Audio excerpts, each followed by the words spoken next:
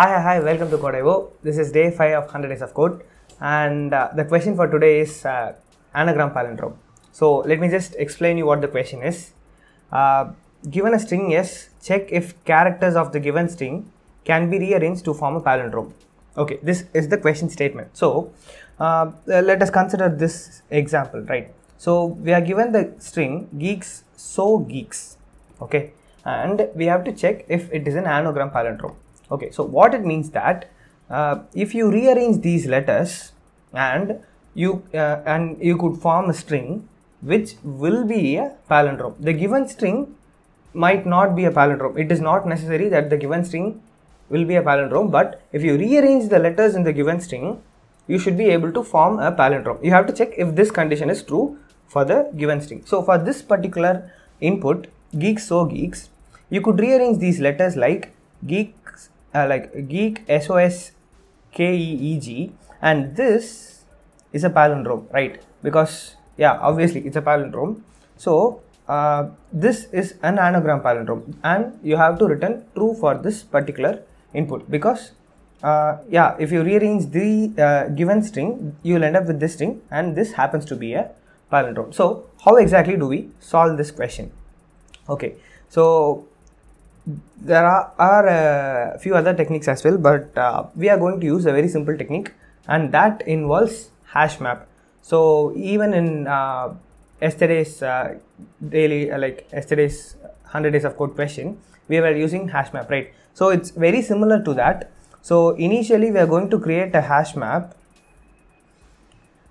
and we are going to calculate the number of occurrence of these letters in the original string right? So uh, the characters and their frequencies. You will understand why i'm doing this in a bit. So the letter g has occurred two times. The letter e has occurred i'm sorry it's not quite well. So okay fine. The letter e has occurred four times K has occurred two times, S has occurred twice, and O has occurred once.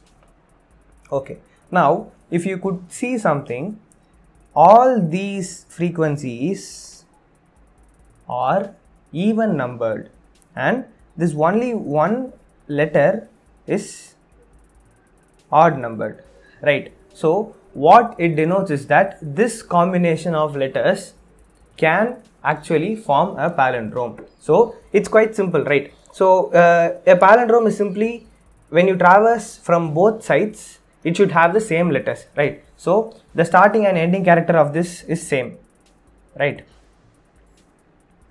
The second last characters of these uh, letters, uh, like this string and the second character is the same. So if you could consider this, uh, there is an empty string and you have a pile of letters you are sending one letter to the beginning you are sending one letter to the end.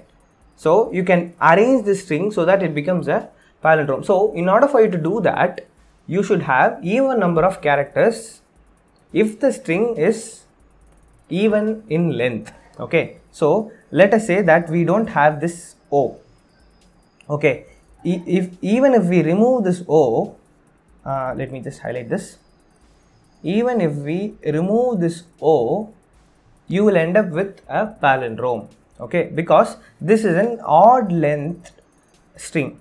So when it comes to an odd length string there should be a middle element and every element to the left of it will be replicated with elements to the right of this. So uh, to the left of o we have s and to the right of o also we have s. And similarly k k e e e e and g. Okay so this is basically it. So if the given string is of odd length, there should be only one character with odd frequency and other every character like every other character should have even frequency. And if the length of the original string is even every character should have even frequency. So this is the condition and i hope you understood this. Now we'll try to program this and see how this works. So we are supposed to complete this function and uh, we are given the string as input. So the initial step would be finding the frequency of the characters in this original string. So I'm just going to create a hash map here, unordered map,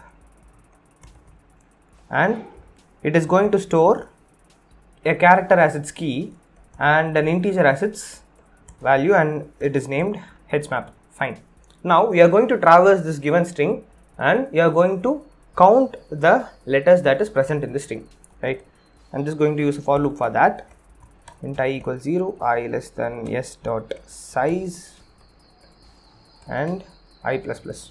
So this loop is going to traverse from the starting of the string up until the last character and we are just going to add it into the hash map. So hash map of s of i plus plus. So if you have already uh, watched the previous episode, you would know that in hash map the values by default will be 0. Okay, so when I increment it, it will become 1 and if it is already 1, it will become 2. So this particular for loop will calculate the frequency of every single character present in this string. Okay, now once this is done, you are just going to traverse through this hash map and see how many odd occurred characters are present in this string. Okay, so I'm just going to create a variable called odd count odd count and I'm going to initialize it to 0 okay. Now we are going to traverse through this hash map and we are going to use the auto data type for that. Okay. You can also create a reference for uh, unordered map and use that as well but uh, auto is uh, much simpler. Okay. So yeah. Here we go uh, auto i dot hash map. I colon hash map. And uh, this is going to iterate through every single entry in the hash map. And we are going to see if the frequency of the current character is a even value. So how we how would we do that? I dot second will give us the value right? And we are going to see if it is even by uh, using the modulo operator 2 right mod 2 will check if it is even. If the remainder is 0 it means that it is even so you can just continue. If not it means that it is an odd freak uh, like it has occurred odd number of times and i'm just going to increment the odd count variable. Okay now once this loop has been executed you would uh, you would end up with a variable called odd count that says how many letters in the string has occurred? Odd number of times. Now we have done the pre-processing. Now we are going to check if exactly this string is an anagram palindrome or not. So first we'll see if the original string the input string is even or odd right? So if s dot size mod 2 equals 0 it means that it is an even length string. So the odd count should be 0 because no letter should have occurred odd number of times uh, if the given string is even in length right so i'm just going to give the other condition here as well odd count equal to 0 I hope this is clear. I'm just going to explain it once again. If the size of given string is even, every character in the string should have occurred only even number of times. Only then you could make a palindrome out of it by rearranging its characters. If one character has occurred odd number of times, it you can never form a palindrome uh, with even number of letters with it, right? So it, it is not possible. I hope it is clear. So yeah, if this condition is true, it means that it is an anagram palindrome and you can return 1 for that. Now the other condition where it you would end up with an anagram palindrome is that the size of the string is odd right? So mod 2 not equal 0 it means that the size is odd okay?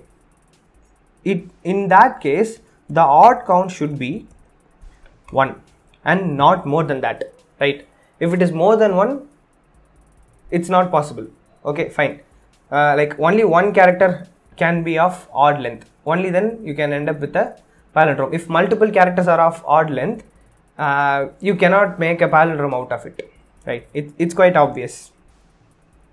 And in this case also, you can return 1 because the size is not odd and one character is present with odd number of frequency. It is fine. Now, if both these conditions are false, you can just return 0 and say that it can never be a anagram palindrome. And I hope this is it. Now we'll try and execute this and see if it works properly. So all test cases have been passed and uh, you have solved the question. Hopefully you understood this. If you have any questions, uh, put them in the comments and I'll uh, get back to you. Uh, thank you so much for watching. See you on tomorrow's video. Bye for now.